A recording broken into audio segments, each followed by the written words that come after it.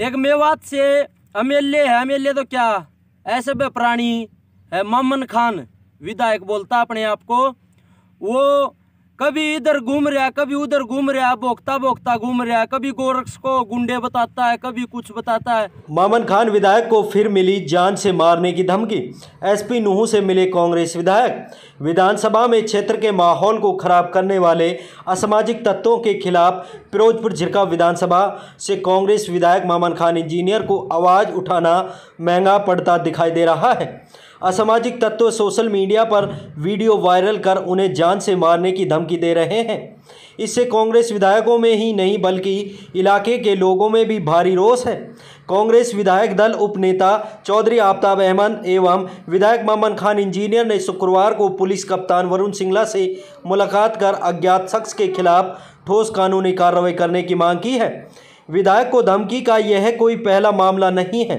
इससे पहले भी गोरक्षा बजरंग दल के सदस्यों के खिलाफ आवाज़ उठाने पर विधायक मामन खान इंजीनियर को पहले भी जान से मारने की धमकी दे जा चुकी है। खास बात यह है कि हरियाणा में चुने हुए प्रतिनिधियों को बार बार असामाजिक तत्व खुलेआम धमकियाँ दे रहे हैं, लेकिन कानून का सख्ती का डंडा उन पर चलता हुआ दिखाई नहीं दे रहा है। इसलिए उनके हौसले दिन प्रतिदिन बुलंद होते जा रहे हैं।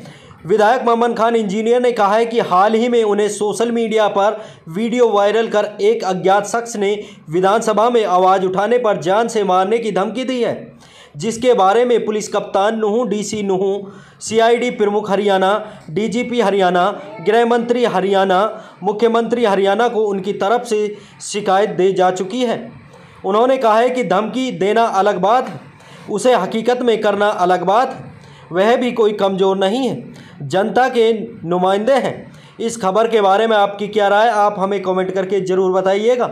अगर आपने अभी तक डी टी न्यूज़ चैनल को सब्सक्राइब नहीं किया है तो प्लीज़ सब्सक्राइब करें और वीडियो को ज़्यादा से ज़्यादा लाइक और शेयर करें। विधानसभा सत्र खत्म हुआ है कल। तो कुछ जो मेवात के मुद्दे थे, मैंने मेवात के और जिस तरह से कुछ ऐसे सामाजिक तत्व लोगों के साथ गुंडागर्दी कर रहे थे, कानून को अपना हाथ में ले रखा था, उनके खिलाफ मैं विधानसभा में बोला था।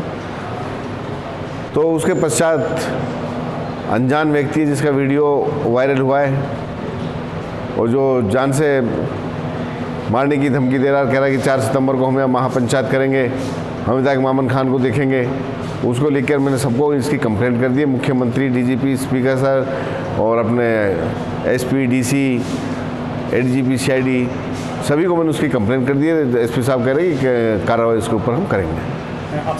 उससे पहले भी कुछ ऐसे सामाजिक तत्वों ने मुझको धमकी दी थी। तो मैंने सोचा, चलो ठीक है टाइम आएगा, सब ठीक हो जाएगा। लेकिन अब ये अपनी सब कहते हैं, दायरों को पार कर रहे हैं तो इनके खिलाफ ज़रूर से ज़रूर कार्रवाई कराऊँ चलो, वो कहने कहने में और करने में बहुत अंतर है। कोई ऐसी बात ना, कमज़ोर कोई भी नहीं है। सर, कुछ वो तो पुलिस ही बताएगी पुलिस एस पी साहब ही बताएँगे। आप पूछोगे तो उससे कि उसकी कुछ पहचान हो पाई नहीं पाई मैंने लेकिन को भेज दिया है। एस पी साहब से मिले। एस साहब ने कहा बिल्कुल कार्रवाई करेंगे।